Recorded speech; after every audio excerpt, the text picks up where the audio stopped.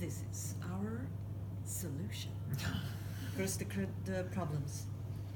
So we were talking about open data policy and the, con- the consequences that it can have for a job search, uh, either in countries, uh, especially in countries where the unemployment rates are really high, then it becomes more of um, then it has more impact if you publish something on the internet years ago that doesn't really meet the grade of the job application you might have in mind.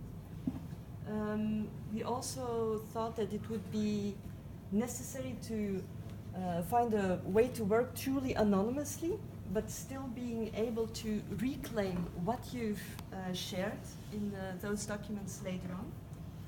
And in order to do this, it's not only necessary to um, being able to publish something anonymously, but also that your texts or your documents or videos or whatever are in some way scrambled so it doesn't pop up in a in either a, a text screening automate uh, automation program or that they can still see although she says it's from Joe Brown it's actually from Jeanine Reuter Reutemann of Jeanine is? Jeanine. Perfect.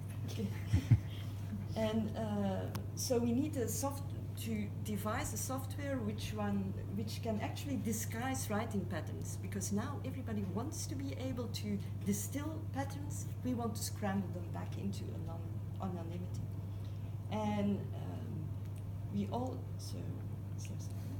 Ah and a possible easy low cost solution would be to work cooperatively to disguise the individual patterns either in text or well voice would be difficult we would have to do something about that.